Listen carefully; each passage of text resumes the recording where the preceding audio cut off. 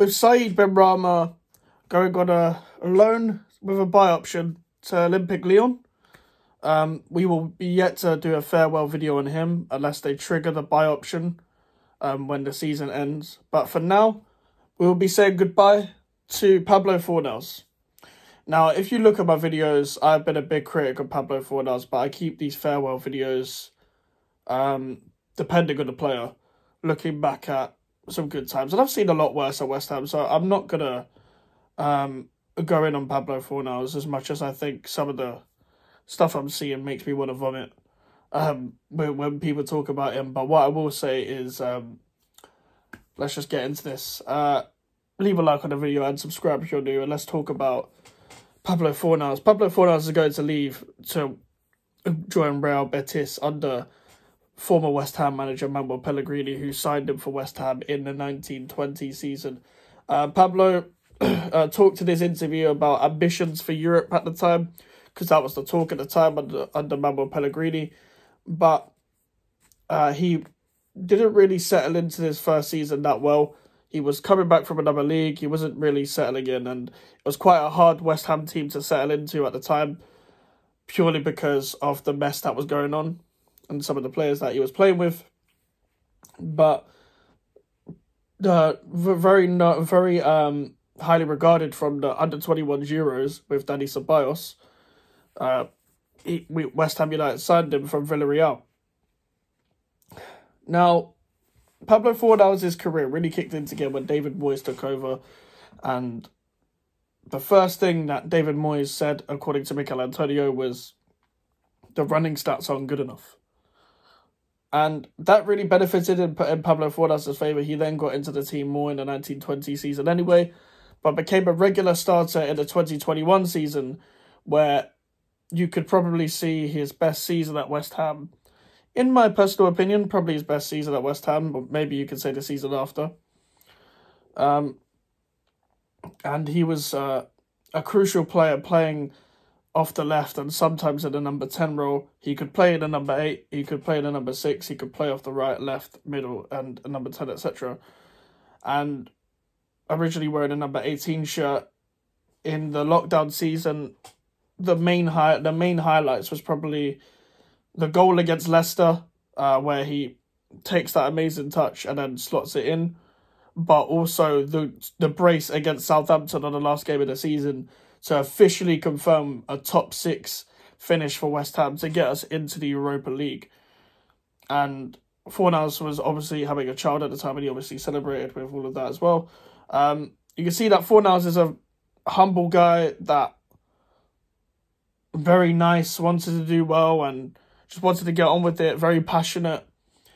And throughout the 21 22 season, you can also see um, Fornals um, uh, performing to an even higher level, you could argue, even though it's close between the two seasons that I'm talking about, the 2021 season and the 21 22 season, where you could argue either of them were his best season at West Ham. But in the 21-22 season, the crowds were back, and even in the Betway Cup against Atalanta, he was he was class. That was my first game going back. And then throughout the season, obviously he scored against uh, Leicester, and he was a him and Benrahma became regular starters. Uh, after Jesse Lingard's deal wasn't made permanent, it was him, Benrahma, Bowen, Antonio as the front four that, with them on the counter attack, was devastated at times, especially in the first half of that season before West Ham dipped off dipped off.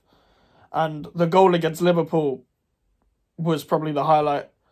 Uh, the counter, the Bowen dribbling and sliding it into Pablo Fornals and him finishing it, that was probably the highlight game.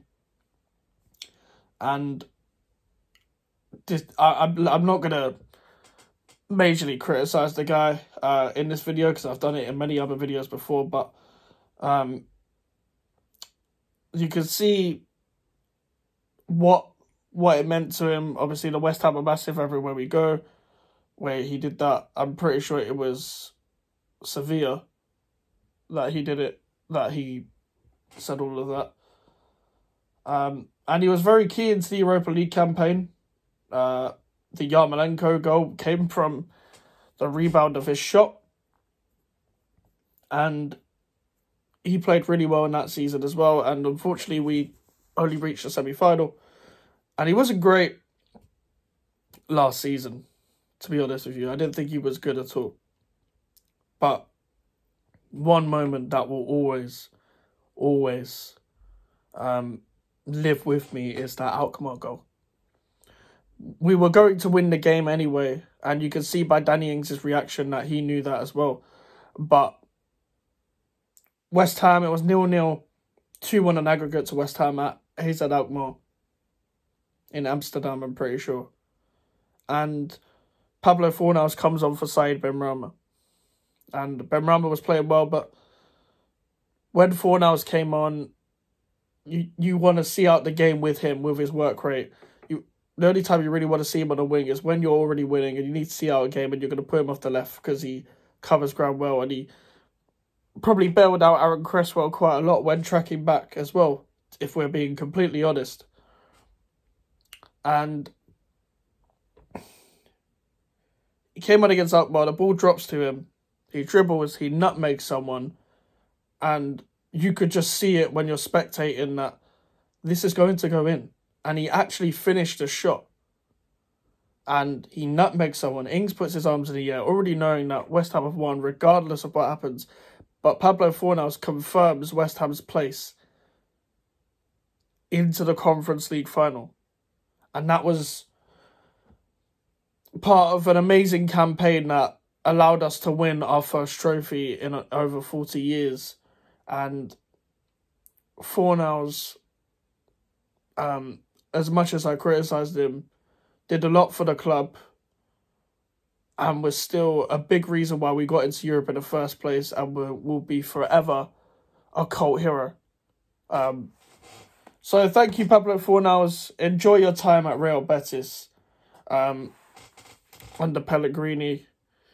And he could probably win the Conference League again.